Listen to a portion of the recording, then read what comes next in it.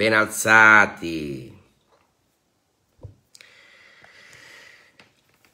Oggi è festa della Repubblica e noi siamo felici di questa ricorrenza. Certo,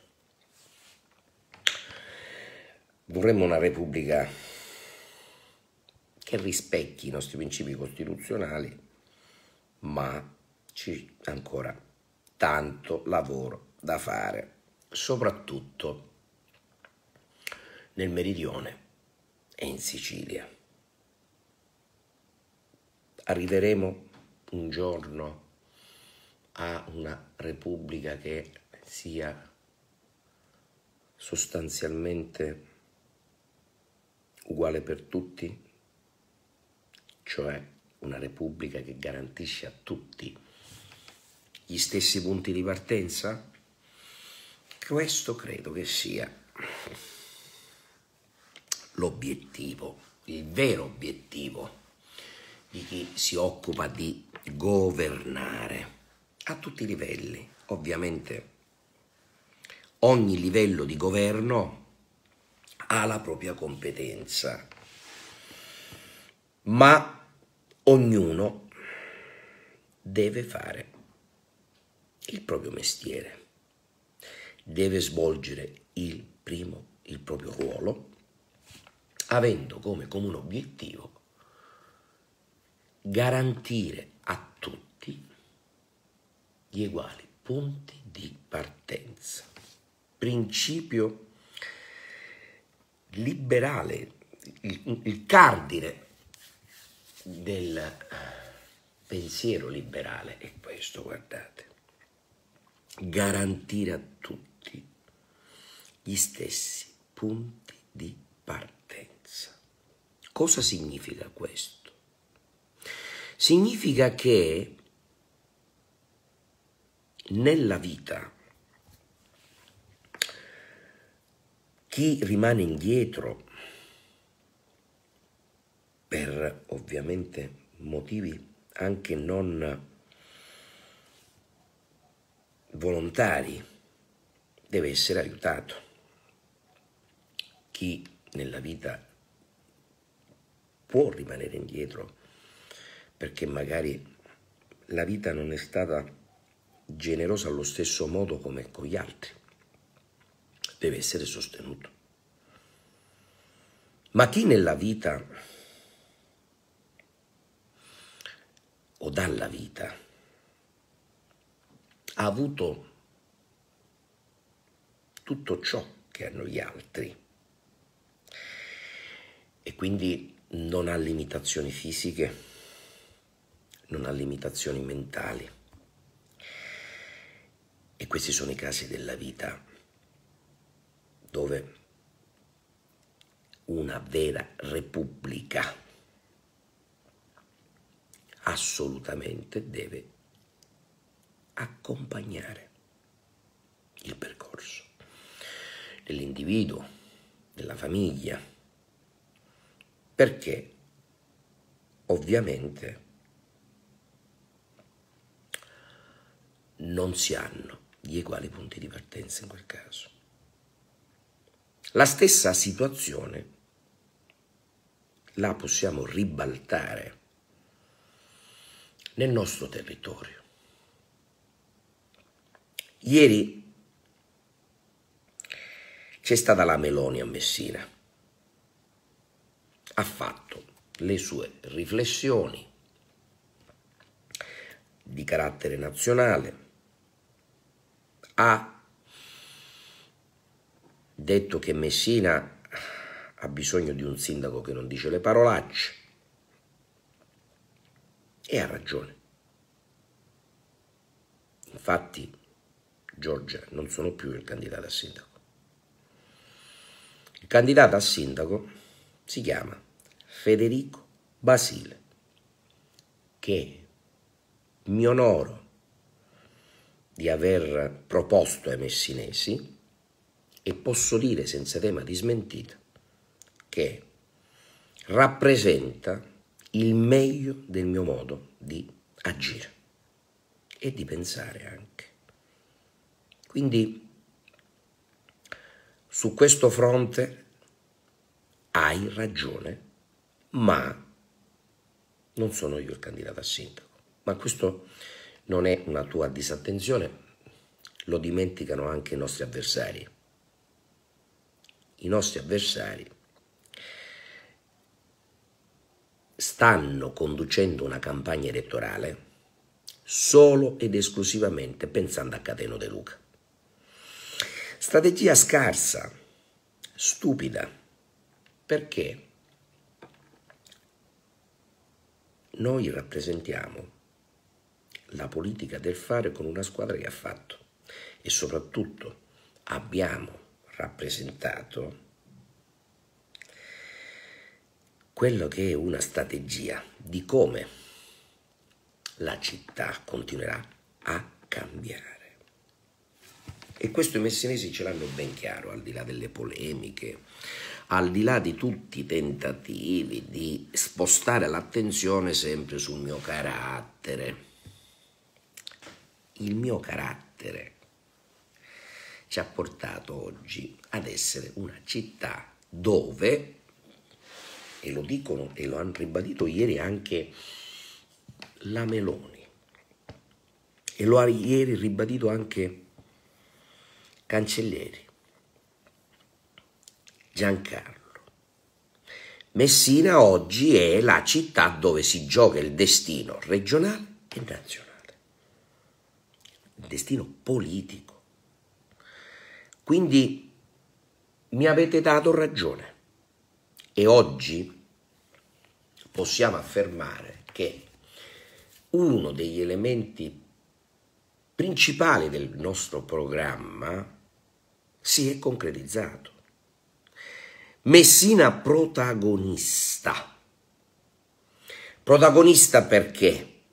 Perché è riuscita ad affermarsi sul piano amministrativo, protagonista oggi perché il risultato di Messina condizionerà, determinerà i nuovi equilibri regionali e nazionali. Perché vengono tutti i leader a Messina? È ovvio. Perché quelli che sono stati risultanze di sondaggi e quant'altro hanno confermato che il nuovo quadro politico passa da Messina. Prima lo avevo prefigurato io. Io ho costruito queste condizioni, cioè di avere la città di Messina finalmente al centro dei nuovi equilibri politici. D'altronde, ieri abbiamo anche registrato la spocchia di Musumeci. È ovvio che non entro nel merito delle tematiche della, di Giorgia Meloni. Ognuno porta avanti i ragionamenti che ritiene. Ma una cosa la voglio dire. Se abbiamo un'Italia che non è riuscita a garantire come classe politica agli italiani a coloro che comunque si trovano in, una, in zone marginali, non per nostra scelta. Noi non viviamo nel meridione senza treni, senza servizi, senza industrie, per nostra scelta. Noi viviamo in un territorio dove la politica non è stata in condizioni di creare un'Italia veramente unita. Noi siamo un'Italia unita sulla carta. Noi oggi festeggiamo questa ricorrenza e nel, e nel rispetto di coloro che hanno perso la vita per un'Italia unita, per un'Italia democratica, per avere un, la Repubblica Italiana, oggi e nei loro confronti che il nostro pensiero e il nostro rispetto deve essere totale, assoluto. Ma non ho lo stesso rispetto per la classe politica che in 70 anni sostanzialmente ha lasciato il meridione al palo, si è mangiato tutti i soldi destinati al meridione per rilanciarlo e portarlo sullo stesso piano infrastrutturale del nord e quindi per me oggi. Onore a chi ha regalato la propria vita per noi ma disonore nei confronti dell'intera classe politica che oggi ci costringe ancora a parlare del ponte sullo stretto di Messina dei treni che ancora risalgono all'età dei Borboni, delle autostrade che non ci sono e nello stesso tempo assistiamo alla sesta corsia, eh, ottava, decima, ormai abbiamo perso il conto di quante corsie ci sono che collegano le città principali del nord tra di loro e anche con il resto d'Europa. E lo abbiamo anche registrato nell'ambito della suddivisione delle risorse del PNRR. Ma queste saranno discussioni che affronteremo al momento opportuno. Queste sono le motivazioni che ci portano a reagire e a organizzarci con un nostro progetto regionale e con un nostro progetto nazionale. Venire a parlare male, in modo così generico, del reddito di cittadinanza, non serve a nessuno, perché non ci sono dubbi che il reddito di cittadinanza per come è stato concepito è ovvio. Ma bisogna lavorare per modificarlo strutturalmente e quindi farlo diventare una misura di intervento sociale dove serve e ovviamente farlo diventare una misura che ti accompagna tra un lavoro e l'altro. Questo deve essere reddito di cittadinanza. Non può essere ovviamente, come è stato finora, una somma a fondo perduto senza la possibilità di stimolare la crescita, far reagire l'individuo, perché la mancia di Stato è mortificante, soprattutto per chi la riceve. Io sono sempre dell'idea che meglio regalare, famoso detto che era cinese mi pare, mi ricordo, dice ma cosa regali a una persona che ha fame, che è sempre seduta lì in riva al fiume? Tu che hai una canna da pesca e che peschi e che hai sempre il pesce a disposizione, cosa fai? nei confronti di questo soggetto che non ha una canna da pesca. Gli regali il pesce la prima volta e lo fai mangiare? Sì. Gli regali il pesce la seconda volta e lo fai mangiare? Sì. E se la terza volta gli regali il pesce e quello continua a mangiare eh, così, cosa hai risolto? Nulla. Allora vedi di regalargli una canna da pesca e impara e insegnagli a pescare. Ecco dove sta la differenza e ve l'ho voluta raccontare con un ragionamento molto semplice. Dare soldi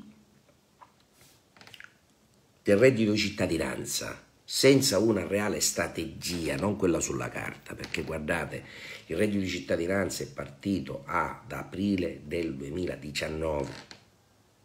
Signori, sono passati due anni pieni, anzi tre, 2020, 2021, 2022.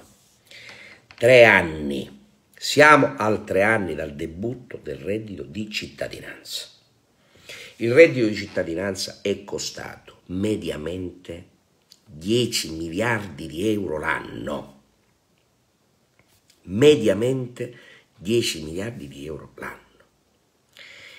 Nell'ambito della strategia del reddito di cittadinanza sono stati costruiti apparati dal costo di 50-60 mila euro cada uno, i famosi navigator, che non so che fine hanno fatto. Il dato statistico delle risultanze del reddito di cittadinanza è 0,1. 0,1 lo sapete che significa? 0,1 soggetti che beneficiano del reddito di cittadinanza che hanno trovato un'occupazione secondo le finalità nobili del reddito di cittadinanza. Potevamo fare quattro ponti sullo stretto di Messina, eh? Questo lo dobbiamo chiarire tanto per fare i paragoni. E allora il tema è serio e va affrontato. Abbiamo noi migliaia di famiglie che non hanno come campare e su questo non ci piove. Va comunque definita una strategia. Ma vorrei capire una cosa però. A chi serve il reddito di cittadinanza così? Perché dobbiamo mortificare chi lo riceve e soprattutto anche mettere in difficoltà il sistema produttivo, il quale continua a dire che non si trovano più disponibilità lavorative perché la gente si fa quattro conti e dice preferisco 500 euro al mese con reddito di cittadinanza e non 1000 euro lavorando. Guardate, è qui che bisogna rompere il meccanismo. E non è possibile che abbiamo bruciato la realizzazione di tre ponti sullo stretto di Messina, pure quattro, ve l'assicuro, e ancora stiamo qua a discutere della, dei principi della decadenza, della decadenza dal reddito di cittadinanza. È la dimostrazione come uno strumento con una finalità nobile è diventato dispersivo, distorsivo, patologico per colpa della politica. Questo è il tema. Oggi bisogna ragionare in termini diversi. E allora parlare di salario minimo garantito, parliamo di quello che volete, ma il tema è un altro. Noi abbiamo fatto un'esperienza piccolina, per carità, con l'estate addosso. Abbiamo preso questi ragazzi, questi studenti dai 16 ai 25 anni e li abbiamo collegati a un'esperienza di inserimento lavorativo presso aziende. Per usufruire dei 600 euro al mese, di questo si è trattato, per due mesi, quindi una piccola cosa, un esperimento però ha funzionato.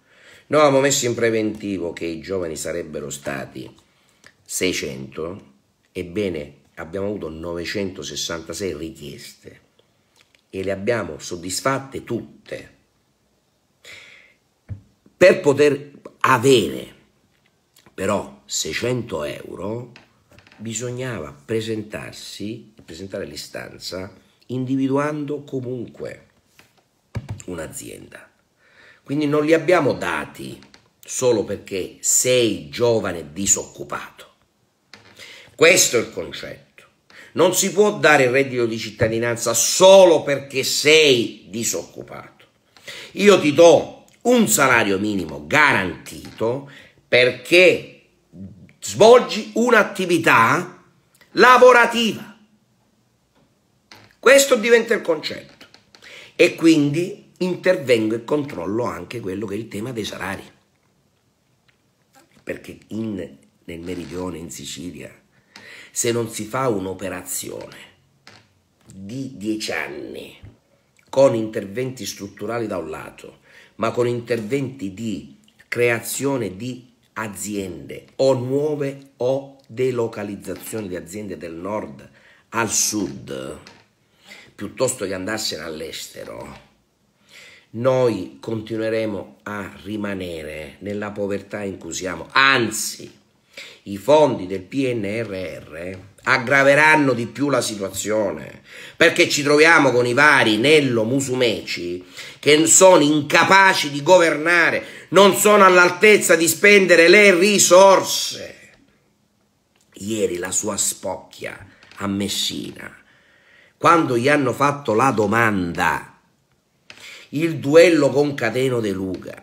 Ma quale duello? Ha risposto. Quale duello? Noi abbiamo quattro cantieri la settimana. Quale duello, signori?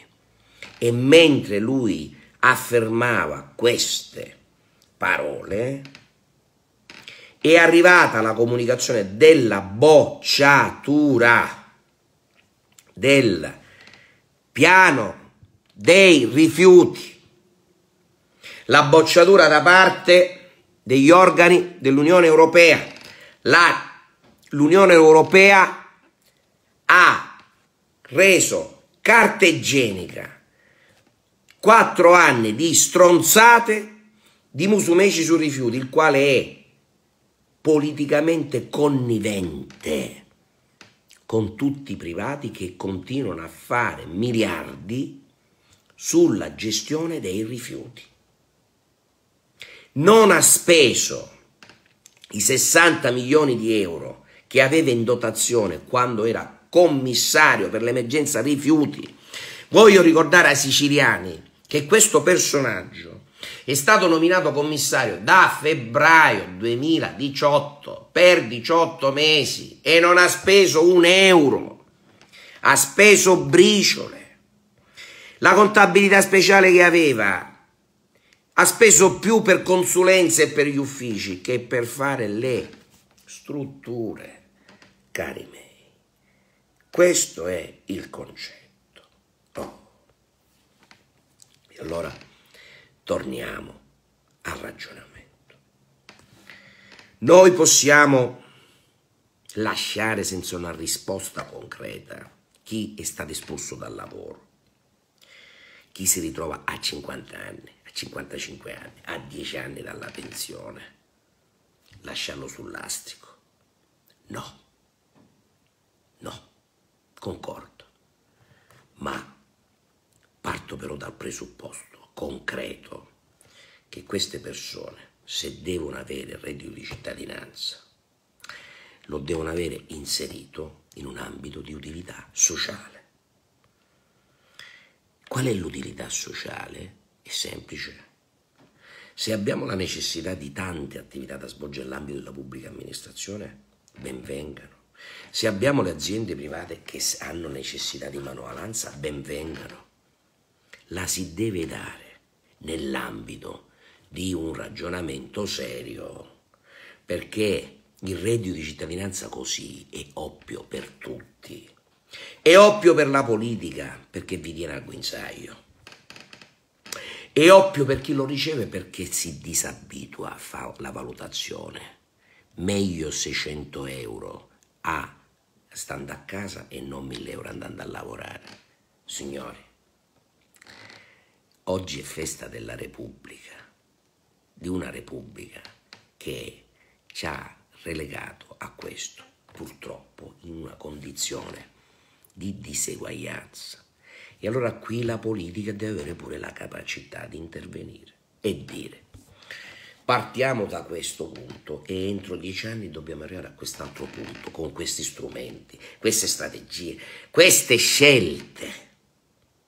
Quella è la vera politica e questo è l'obiettivo del progetto che dobbiamo portare avanti per quanto riguarda una nuova chiave di lettura della questione meridionale Abbiamo iniziato a parlarne con Dino Giarrusso, lui ha le sue idee, io le mie, vediamo se riusciamo a concludere un percorso e lanciare la sfida a tutti quanti. Io ho detto che voglio continuare ad occuparmi della mia terra, della Sicilia, non ho velleità nazionali come ruoli, ma ho però la pretesa di avere come punto di riferimento nazionale e quindi anche un leader, deputati, senatori che rispondono a quella che è la logica della giustizia sociale. Questo sì, consentitemelo, quello è il nostro obiettivo. E ieri, mentre, ripeto, Musumeci mostrava questa spocchia, beh, arriva questa bocciatura di cui parleremo nei prossimi giorni. Questo che cosa succede? Cosa significa? Significa che ancora in Sicilia avremo i privati che continueranno a gestire i rifiuti, continueranno a fare affari con i rifiuti, con la connivenza della politica.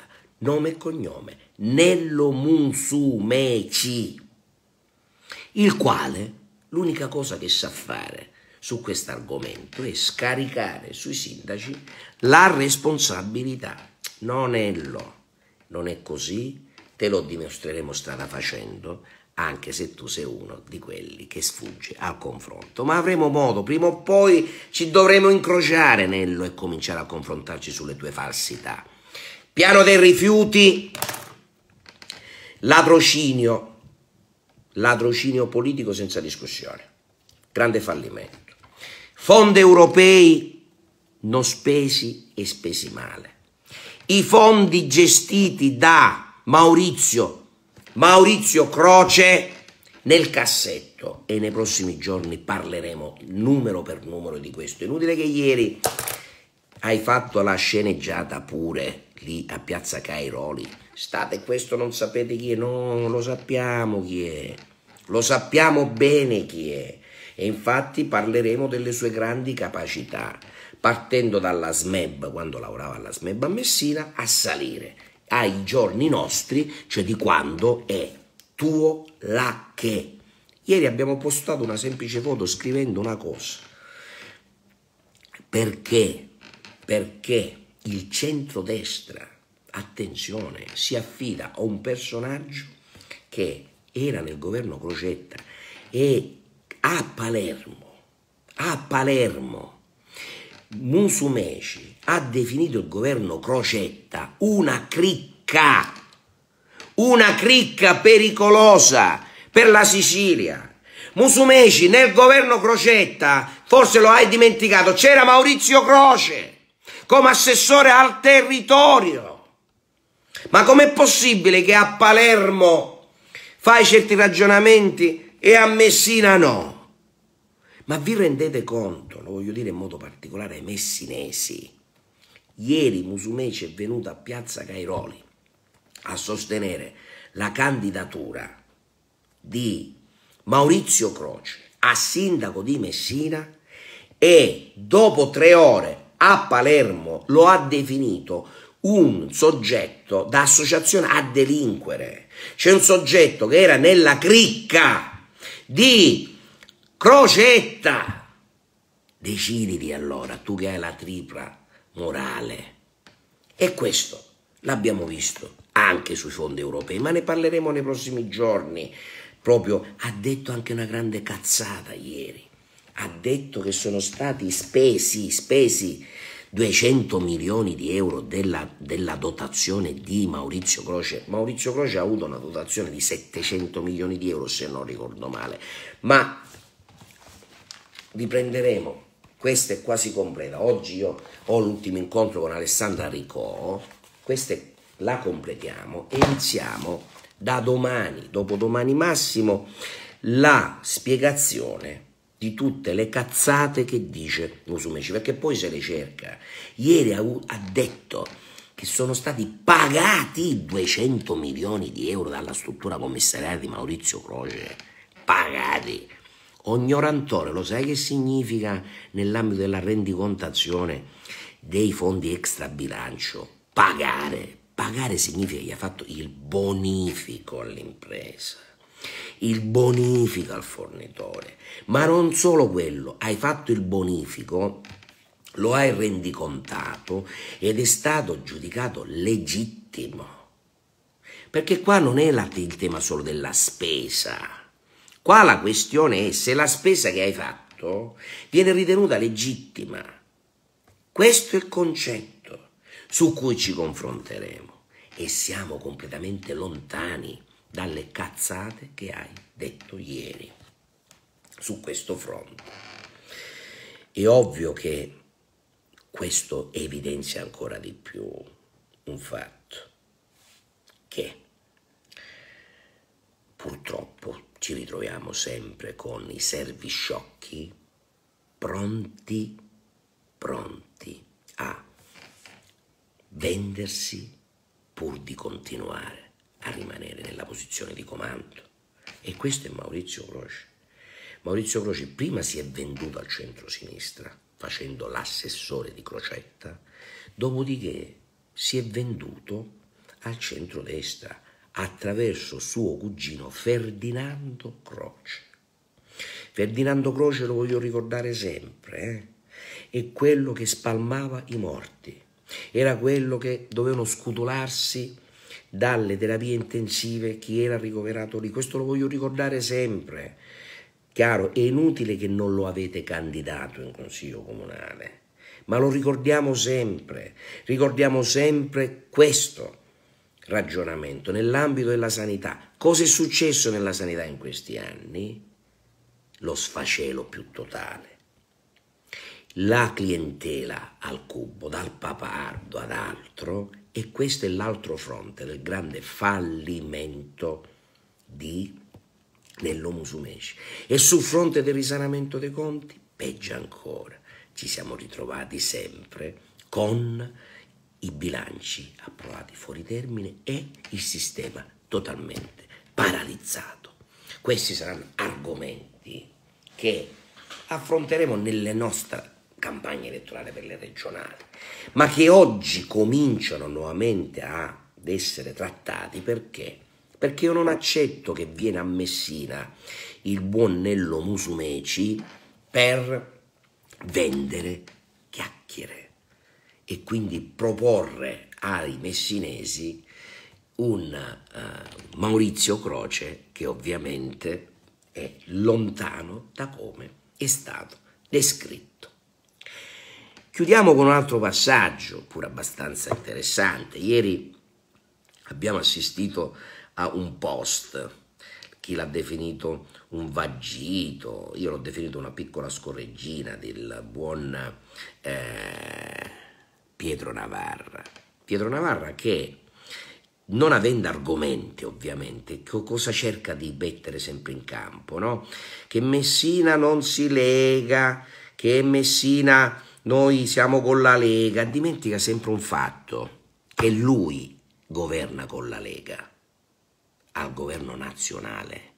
Signori, ricordiamoci sempre che tutti coloro che in questo momento cercano di tirare in ballo questioni ideologiche, perché d'altronde i Navarra ancora esistono, perché? Perché mettono in ballo, al di là della loro potenza economica, ma mettono in ballo sempre la questione dell'ideologia.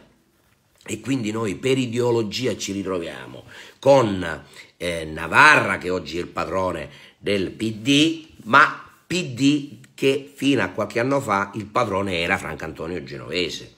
Ma i veri, ma i veri comunisti dove siete andati a finire? Ma ci siete ancora? Ci siete sì o no? Esistono più uomini di sinistra tu, Alessandro Russo, che ti definisci uomo di sinistra, ma puoi continuare a farti comandare da Genovese e da Navarra, che di tutto sono, ma che con la sinistra non c'entrano niente. Ma dove è andata a finire la sinistra a Messina? Con tutto il rispetto, dove siete? Battete un colpo, se ancora ci siete. Ho fatto più cose io di sinistra che tutti i governi messi assieme della città di Messina. I precari li ho stabilizzati io. Chi era part time l'ho portato a tempo pieno. Ho tolto dal ricatto di certe pseudo cooperative, pseudo cooperative, cooperative che mascheravano un dominus, un imprenditore, che è il più scarso di quegli imprenditori che gestiva la cooperativa, ha 12 panfili e 4 castelli. E la gente veniva tenuta al guinzaglio a 4 soldi al mese quando glieli davano e soprattutto ricattati, politicamente ricattati. Io ho liberato questa gente. Io ho fatto un quadro di strategie per il sociale. Io ho creato la cittadella dei diritti alla città del ragazzo. Vedete tutti quegli elementi che voi di sinistra, per la giustizia sociale, e io sono per la giustizia sociale, tutti questi principi che voi utilizzate per giustificare cosa? La vostra differenza rispetto alla visione di destra ma io l'ho messe tutte in pratica, io le ho realizzate, io non ho fatto i convegni.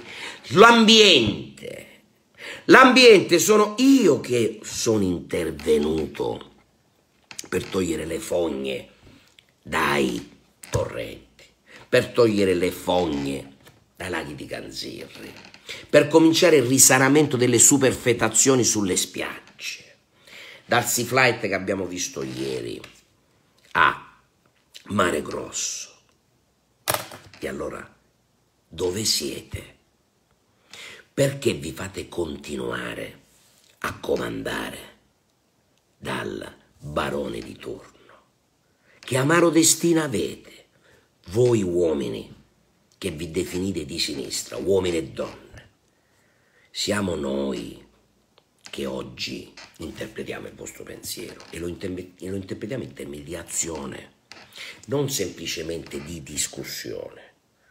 Oggi come può un uomo che si definisce di sinistra votare per Franco De Domenico, che è uomo di destra più destra di lui, non c'è, con un aggravante, che è un uomo di destra che rappresenta le lobby, rappresenta quegli ambienti dove la professione diventa quello di truccare i concorsi all'università, perché è amico degli amici.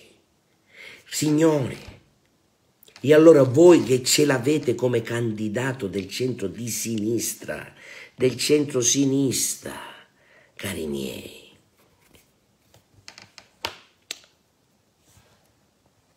Walter Sassoli scrive una cosa delicata.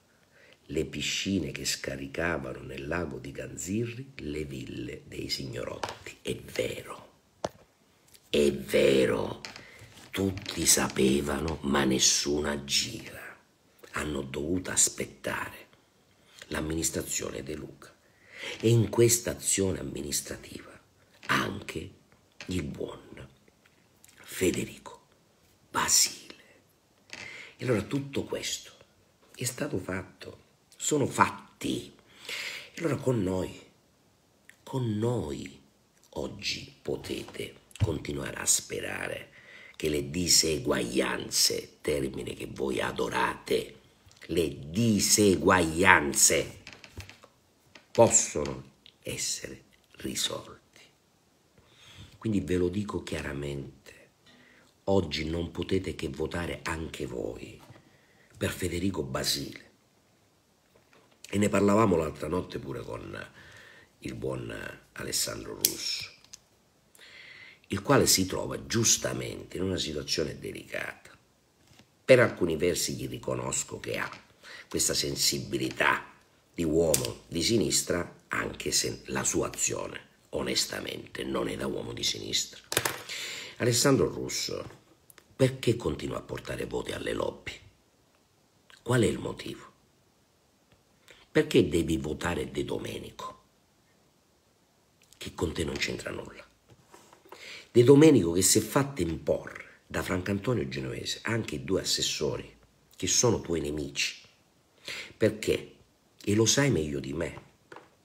Calabrò, Felice Calabrò, ti odia realmente perché tu lo hai tradito nel 2013 e hai votato a Corinti. E sai bene che Calabrò nel 2013 era il candidato del centro-sinistra di Francantonio Genovese però di Francantonio Genovese. Se non lo ricordiamo bene sempre queste cose, ci confondiamo. Antonia Russo era l'avvocato di famiglia genovese. Anche lei è entrata e uscita dai tribunali su tutte quelle vicende che hanno riguardato la famiglia genovese. Non sei stato neanche scelto come assessore. Perché? Perché Genovese ti odia ma vedi che tu non entri, non sei nel cuore di Navarra.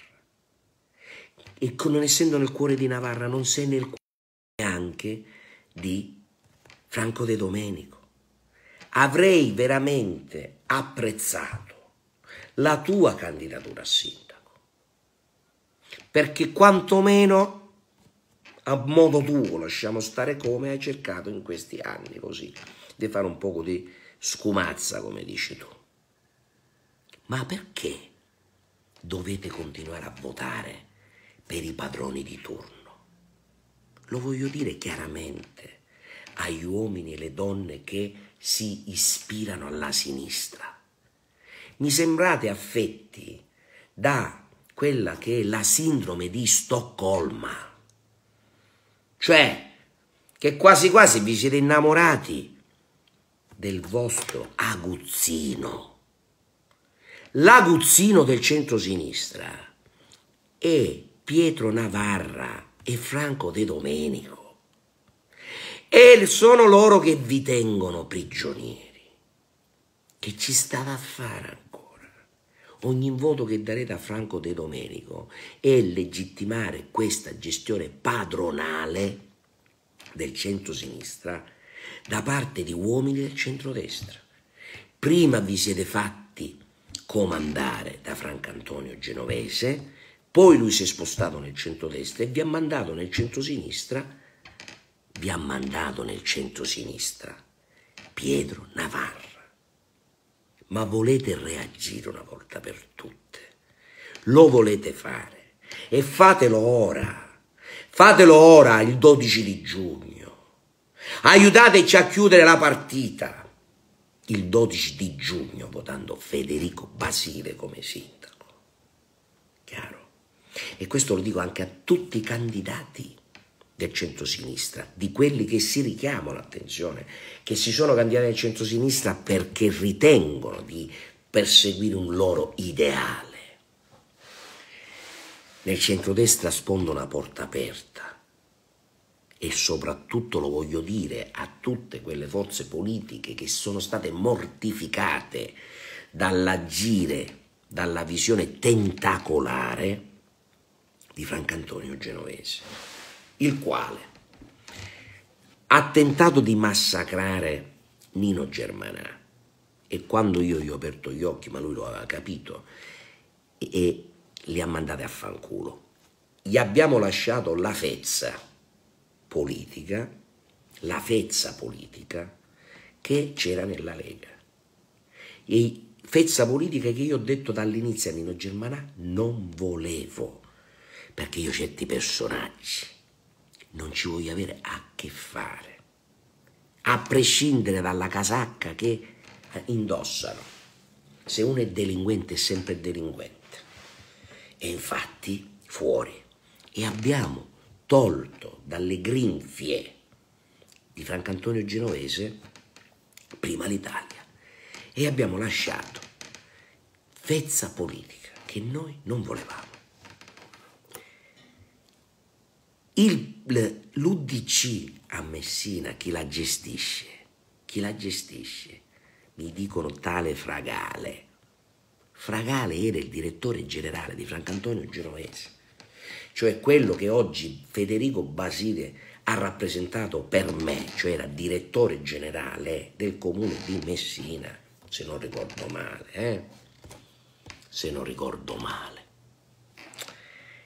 In ogni caso, l'uomo di Francantonio Genovese, che controlla l'UDC, ha voglia che l'onorevole Beppe Spicciolo si pavoneggia, ma le cose stanno così e già lì è stato stabilito anche chi deve essere eletto e lo ha stabilito Francantonio Genovese. Andiamo alla famosa operazione di Cuffaro. Chi è che gestisce la lista di Cuffaro? Chi la gestisce udite udite, la cognata di Franco Antonio Genovese. La Schirò gestisce la lista di Cuffaro a Messina. Non so se lei è candidato o se si è candidata la figlia. E infatti, se, ma lontani da seggio ovviamente, e quindi il pericolo non c'è, ma pensate un po', anche lì è stato stabilito che qualora ci fosse la possibilità di prendere, di superare lo sbarramento, l'eletta deve essere comunque della famiglia genovese. La stessa operazione è stata fatta nella lista di Croce Sindaco. L'ultima notte gli infila una candidata fortissima figlia di un sindacalista, una candidata che prima è stata sistemata in banca, poi la banca dove è stata sistemata era fallita ed è stata trasferita fuori dalla provincia, mm, non so a N e quant'altro. Lì non poteva più stare e pare che sia stata poi inserita in qualche cosa qui su Messina, non so se tra Papardo, tra eh, società del, che si arrotavano attorno all'università, non lo sappiamo. Comunque candidata all'ultimo secondo, perché se prende il 5% quella lista deve essere comunque una costola di Franco Antonio Genovese. Ma in fin dei conti, ma volete continuare? Ah, l'azione di cecchinaggio che ha fatto nei confronti di Fratelli d'Italia e di una parte di Forza Italia incredibile. Quindi lui, la sua strategia è ammazzare tutti gli alleati e sfondare come lista. Questo è il disegno che politicamente definire da criminali è, un, è veramente un complimento. Cioè, lui ha fatto una serie di operazioni per ammazzare gli alleati e uscire lui come il gigante della situazione, per continuare a condizionare. Tutto qui.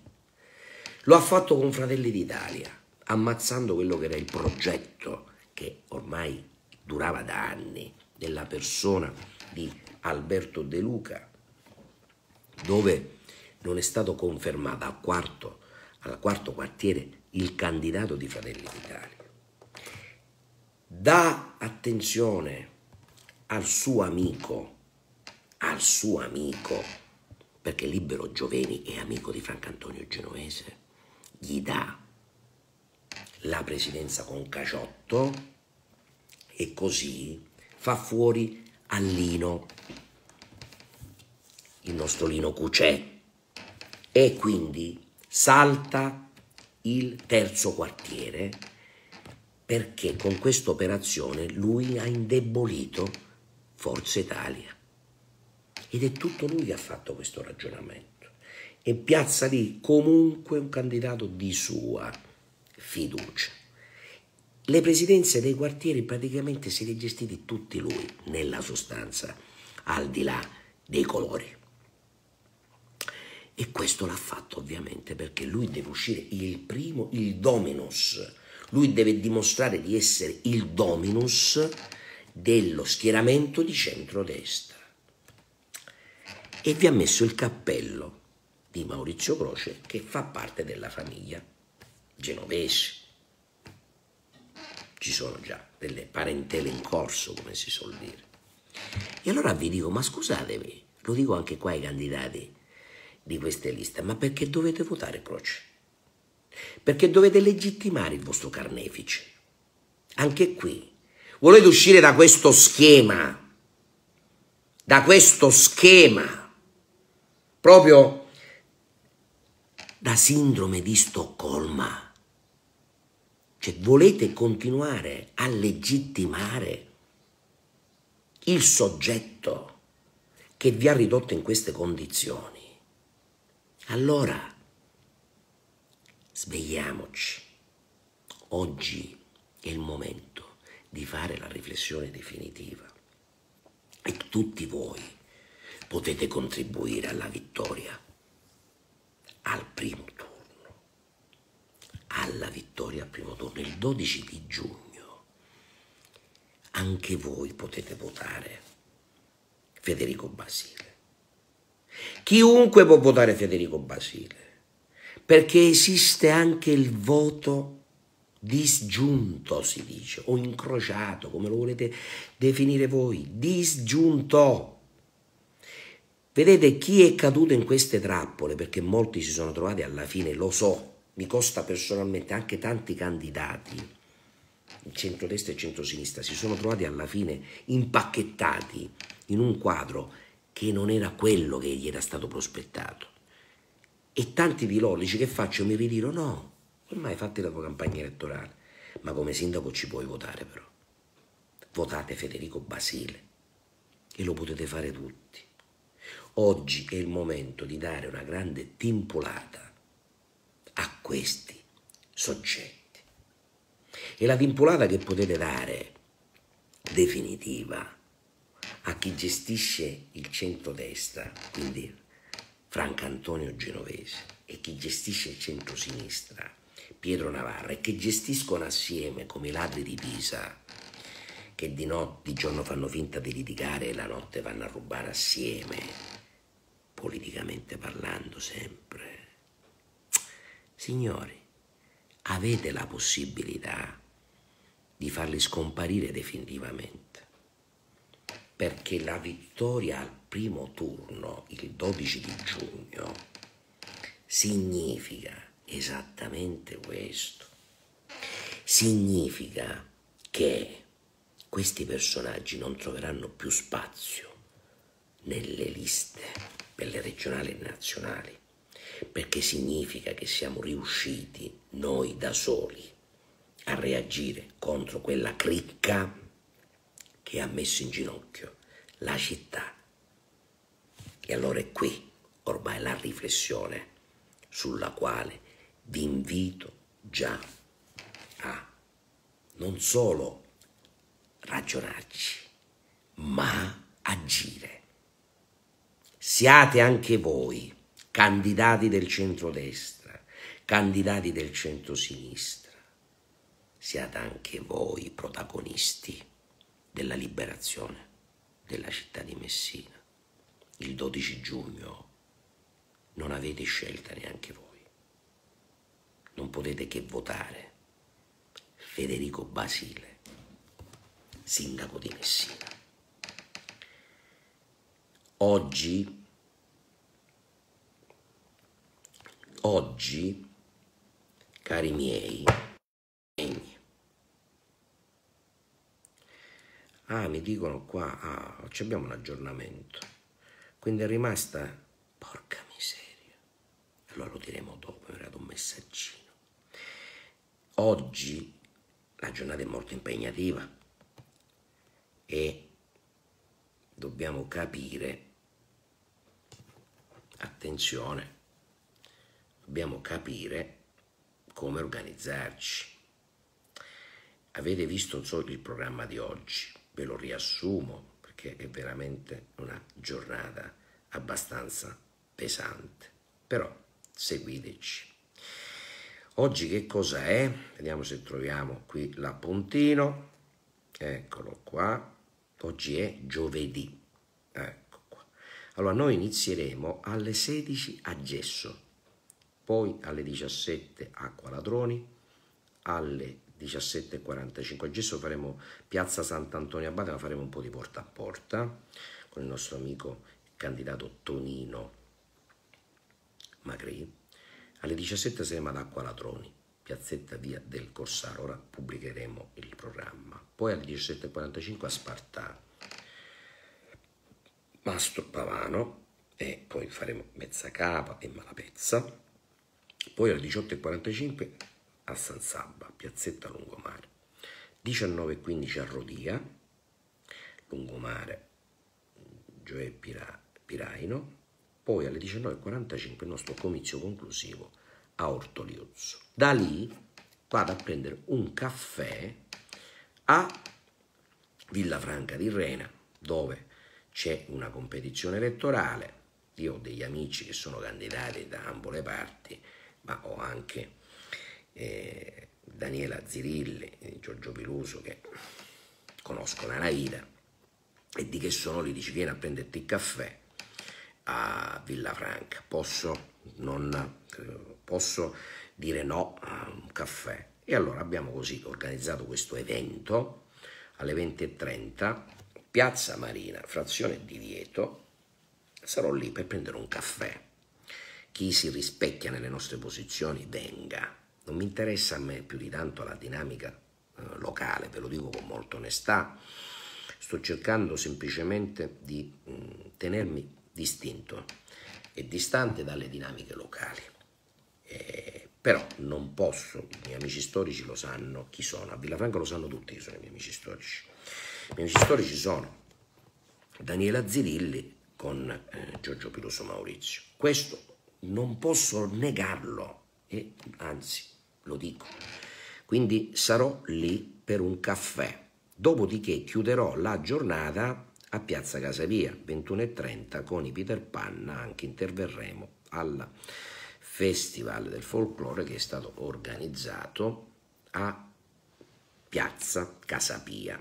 Inizierà alle 19.30 21.30 credo e proseguirà fino mm, alle 22.30. Noi interverremo in base a quello che è il mio programma, interverremo alle 19, eh, alle 21.30 circa, quindi anche gli amici che eventualmente vogliono eh, da questo punto di vista eh, incrociarsi con me lo possono fare anche alle 21.30 faremo alcuni brani un saluto veloce e alcuni brani ovviamente questo parte dalla comune passione per quello che, per quello che sono le tradizioni popolari che eh, ci hanno sempre tenuto eh, vicini al, al territorio e quindi faremo questo passaggio anche con uh, i Peter Pan. Quindi il programma, come vedete, è molto, molto ampio. Seguiteci. Caro saluto a tutti e sensibilizzate i nostri amici. Sensibilizzate i nostri amici di tutti gli schieramenti. Ora è il momento di reagire, di restituire quello che vi è stato fatto. E comincio dai singoli candidati del cosiddetto centrodestra e del cosiddetto centrosinistra. Siete i primi voi che potete votare Federico Basile. Lo sappiano tutti. Possono votare Federico Basile tutti. E se oggi dobbiamo partire dal presupposto che risparmiare 500.000 euro per il ballottaggio è cosa importante, che dare una spinta ancora di più di autorevolezza a Federico Basile è vincere al primo turno ed è importante, che dare una spinta al progetto De Luca Sindaco di Sicilia con la vittoria al primo turno a Messina, quindi il 12 di giugno, è importante anche per questo. Quindi oggi non c'è un motivo valido per non votare. Il 12 giugno Federico Basile, sindaco di Messina. E vi lascio proprio con questa riflessione conclusiva che deve portarci a chiudere questa fase elettorale ed a organizzarci immediatamente per continuare a dare servizi alla nostra città. Un bacio.